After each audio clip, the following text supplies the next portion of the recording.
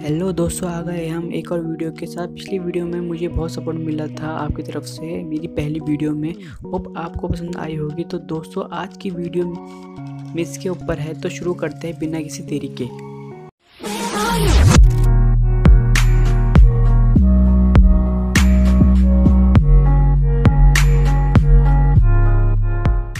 दोस्तों, इस time situation बहुत ख़राब है हमारी और पूरे देश की। समझ नहीं आ रहा करे तो क्या करें? हमारे प्राइम मिनिस्टर मोदी ने भी यही सोल्यूशन दिया था सोशल डिस्टेंसिंग करो बट आपको लगता है कि कोई इसका पालन कर सकता है? नहीं। कुछ की मजबूरी है बाहर निकलना, जैसे मजदूर लोग खाने के लिए घर में कुछ नहीं है। इसमें अगर कोई डोनेट करना चाहता है उन लोगों को, जिनकी मजबूरी है घर से निकलने की तो वो अपने आसपास के लोगों की हेल्प कर सकता है। तो आज मैं इसी टॉपिक के बात करूँगा और कुछ चीज़ें बताऊँगा as per World Trade Organization W H O बहुत सारे लोग कोविड नाइन्टीन से रिकवर हो रहे हैं। जी हाँ ये सच है, ऐसा कहा गया है डब्ल्यू एच ओ ने। अगर किसी को वायरस है तो उसको पता नहीं चलेगा तो आप क्या करें? जैसे ही आपको लगता है कि आपकी तबीयत हल्की सी भी ख़राब है तो तुरंत अपने डॉक्टर को दिखाएँ। डॉक्टर को कॉल करें या फिर हॉस्पिटल जाए और जल्दी से जल्दी अपना इलाज कराए।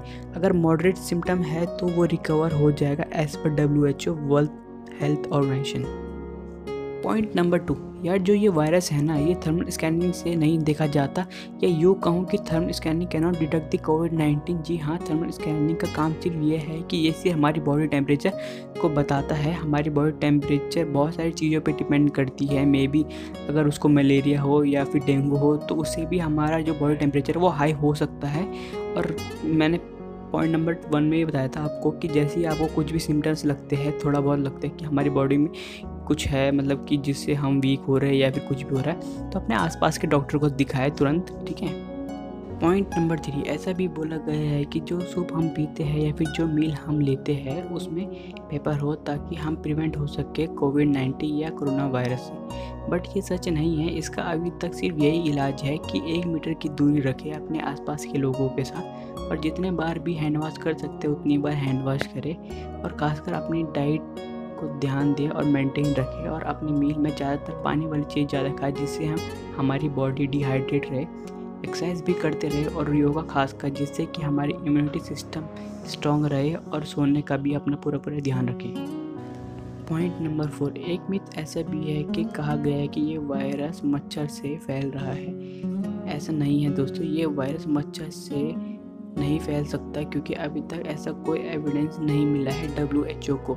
ये वायरस सिर्फ़ फैल रहा है, जिसको ये वायरस है उसके छींकने से या फिर उसके बोलने से।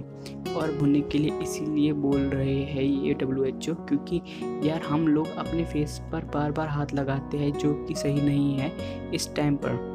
इसलिए बार बार हाथ धोते रहे और अपने आप को सेव करते रहे ताकि पॉइंट नंबर फोर यार, एक मिथ ऐसा भी बता रहे हैं लोग कि ये वायरस रेडियो वेव या फिर मोबाइल नेटवर्क से भी ट्रांसमिटेड हो रहा है। तो दोस्तों, ऐसा कुछ नहीं है और ना ही डब्ल्यूएचओ को इसके खिलाफ कोई प्रूफ मिला है कि हाँ भाई, ये रेडियो वेव या फिर मोबाइल नेटवर्क से ही ट्रांसमिटेड हो रहा है। पॉइंट नंबर सिक्स एक मिथ ये भी बताया है लोगों ने कि अगर टेम्परेचर ज़्यादा होगा तो ये वायरस ख़त्म हो जाएगा।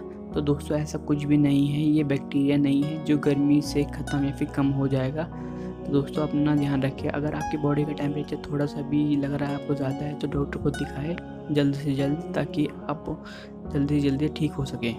पॉइंट नंबर सेवन एक मित ये भी बताया है लोगों ने कि 10 सेकंड तक अपनी सांस रोके और अगर उस बीच अगर आपको खांसी आती है तो आपको कोरोना वायरस है और अगर आपको उस बीच खांसी नहीं आती तो आपको कोरोना वायरस नहीं है।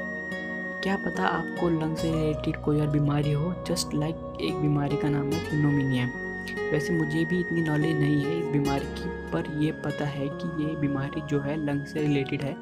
ऐसे में आपको ये बीमारी हो और आप सोच रहे हो कि आपको कोरोना हो गया तो ऐसा नहीं है दोस्तों। कोई भी चीज़ को समझने से पहले उसको देखो, जानो, तब जाके रिएक्ट करो उस पर पॉइंट नंबर एट एक फ़नी मिथ ये भी है कि अल्कोहल पी लो तो कोरोना वायरस से बच जाओगे तो दोस्त, ऐसा नहीं है। अल्कोहल हेल्थ के लिए बहुत ख़राब है। जैसे मैंने आपको बताया भी था कि हमें अपने इम्यूनिटी सिस्टम को मज़बूत करना है, ना कि वीक करना है। अल्कोहल पीने से इम्यूनिटी सिस्टम सिर्फ़ और सिर्फ़ ख़राब ही होगा। तो मज़ाक मज़ाक में पी मत लेना। जिसको ये पॉइंट पता है या फिर नहीं पता है तो शेयर करो लाइक करो और कमेंट करके बताओ कि किस किस को ये पॉइंट पता है और कौन किस किस को ये पॉइंट नहीं पता है। तो दोस्तों, आज के लिए इतना ही सोचा। आज सभी से शेयर करता हूँ जितना मुझे पता था, जो कि मैंने आपको बता दी है। बाकी मैं डिस्क्रिप्शन में लिंक दे दूँगा, जहाँ से मैंने ये पढ़ा था, ये डब्ल्यू एच ओ की साइड है, ये बात बोली है। और मैं आपसे यही विनती करता हूँ कि घरों में रहे, सेफ़ रहे, आसपास जो लोग हैं, उनकी हेल्प करें जितना हो सके। आज के लिए इतना ही। आपसे मिलते हैं नेक्स्ट वीडियो में। तब तक के लिए टेक केयर एंड बाय